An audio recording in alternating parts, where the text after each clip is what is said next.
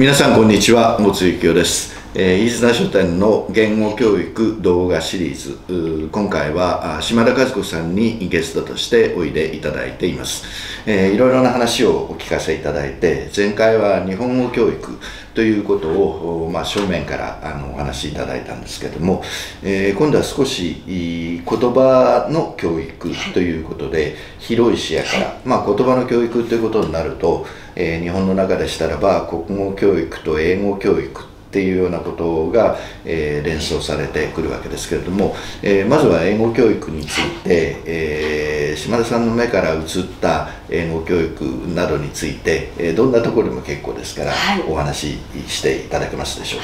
か？はい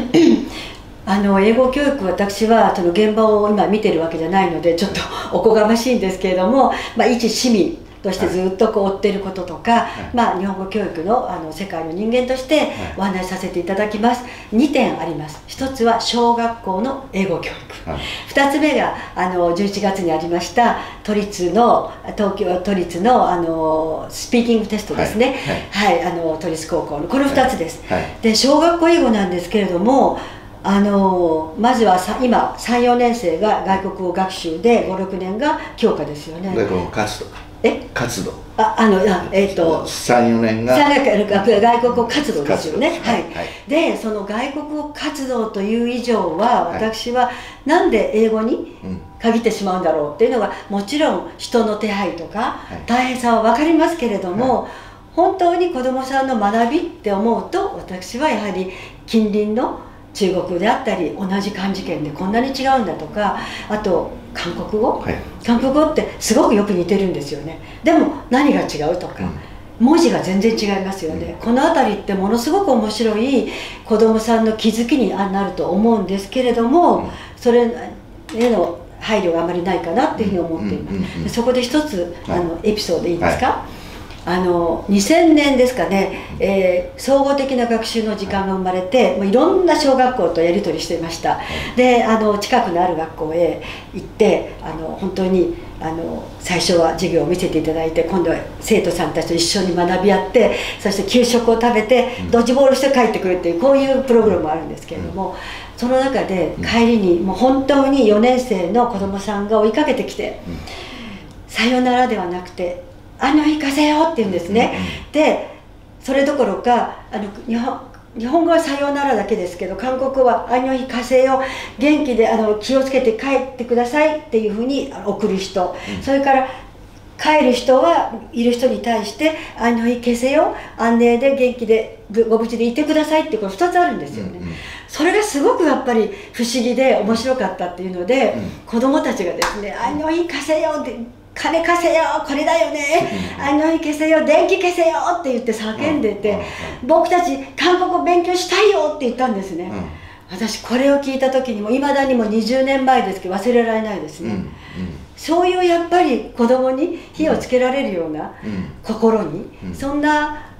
外国語活動があったらいいなっていうふうに思っていると、今のはこれでいいんだろうかと思ったり、年に35コマですよ、はいそうです。それで貼ろうってやってどうするんだっていう気はしているんですけれども、はい、いかがでしょう？いや私はもう全く同感ですけれども、はい、あのー、なんだろうな、えーと、今日本の中でも結構その文化の多様化っていうのが進んでって、はい、で、まあ、その背景にはあのいろんな外国人がいろんな国からの、えー、人たちが、えー、もう、えー、10年前に比べればずっと増えてるっていうのは背景がありますよね、はい、で、まあ、そういう状況の中で日本語教育っていうのもあるわけだけれども、日本語を母語とする子どもたちにもね小学生たちにも、うん、あの外国語としての日本語っていうね、はい。うんうん、えー、なんていうか視点を見せてやったら素敵なんじゃないかなと私常々思ってるんですけど、はい、どうでしょうね、うん、そしてあのクラスにもいろんな外国につながる子どもさんもいらっしゃるので、はい。はい、その方たちも一つの人的素晴らしいリソースですよね、そんな思いをどうして持たないのかな、うん、35コマやってその環境がすごく整ってるのはまだしもそれで終わりですよね。だから何なんだろうって気はしています。そうですね、はい。うん、それからもう一つは、あの56年に関してはこの評価なので評価が出てくる、はいはい、その評価って次の学びにつながる評価になっているのかなっていうのがすごく気になってます、うんうん、はい。どどんなところが気になりますか？いやいやあのだから中身見てないので、うんうん、あのかえって英語嫌いを作らないんだろうかっていう意味であの巷ではやっぱり逆に英語嫌いが増えたって話も聞いていますので、ええ、そうすると地域によって違ったり先生によって違ってこれやっぱり不公不平等ですよね。そういう意味ではもう少しきちんとやっていただきたかったっていうのを思います、ええおっしゃる通りだと思いますね、はい、もう本当にあのどういうあの先生に習うか、はい運みたいなもの。で、はい、運に任せる教育っていうのはおかしいなと、え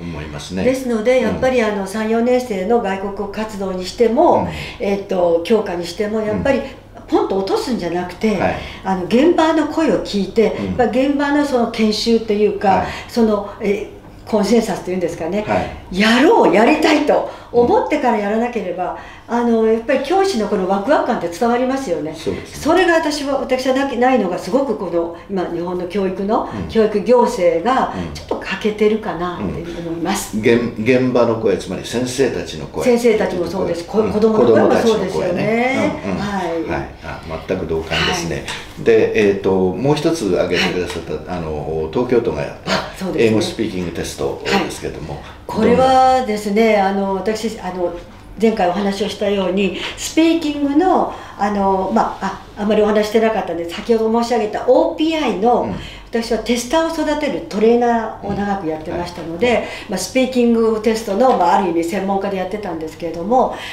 えー、いろんな意味で、まあ、例えば実施に関してややってみたら音は聞こえるわ、えー、他の人の音が入る。こんなことありえないですよね。やっぱりきちんとしたあの状況であのやるべきだっていうのはすごく思いますね、うん、えー、OPI っていうのは本当1対1でこうやるもんですけど、はい、大規模でやるっていうことはそれだけの覚悟と準備がいりますよね、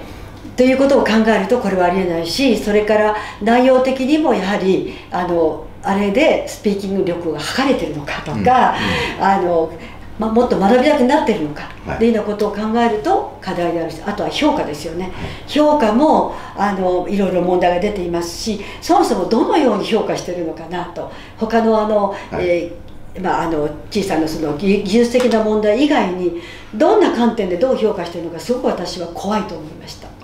はい、一応あの英語教育の専門家と呼ばれる人たち、はい、フィリピンで、えーね、評価をということなんですけれども、はい、その中身のところはほとんどブラックボックスになっていますので、もちろんあの評価の基準のようなものはあの公開されてるんですけれども、それが実際にどう、えー、運用されてるのかっていうのはあまりよくわからないんですよね。はい、はい、それであのもう一つ私のあの経験をお話しさせてください。あの OPI というのはあの30分1対1で話すので非常にお金、はい、費用もかかりますし、はい、テスターもになるのも大変です、はい、そこで私どもは専門家が集まって英科研を 2, 2回取って、あのスピーキングテストの開発をやりました、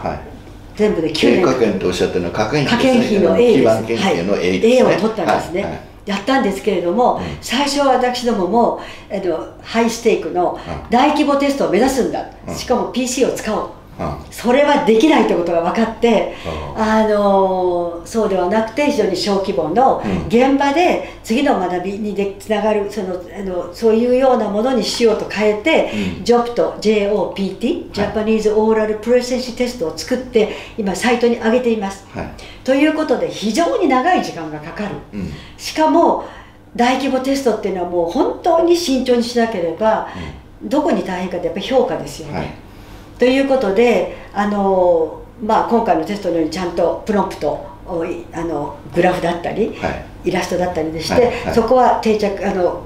こう定着させてあとは評価でどうやるかっていうところなんで、うん、その評価も大変です。ルーブリックでやってるんですけど、はい。ということでやはり、まあ、こういうものはいいですけれども15歳の、うん子供たちがの人生がその一点で変わるかもしれない、そ、ね,、れはやっぱり慎重であっていただきたいし、うんうん、あのそれは違うことに使ったらどうかなと、うんうん、私はあの大規模テストとそうじゃない学内とかそういうテストの在り方のその辺りから根本からやっぱりもうちょっと議論をみんなでするっていうのが大事かなっていうふうにすごく思いながら、はいいます、うん。ありがとうございました、はい、あのまあねあの、えー東京都の英語スピーキングテストについてはいろんないろんな面でいろいろな問題があるってことはもう随分、うん、明らかになってきている。ところだと思うんですけれどもでもあの日本語教育の中で、えーまあ、そういう試みまずあのスピーキングテストの在り方などについて、えー、検討がなされそしてあの独自のテストを開発されたということが分かって、えー、これはあのぜひあのより多くの人たちに聞いてほしい知ってほしいと思いました、はい、ありがとうございました、はい、で、えー、今回はまあその英語教育ということについて話を伺ったんで、今度はあの国語教育ということについて、えー、次回お話を伺いたいと思います。またよろしくお願いします、お願いします。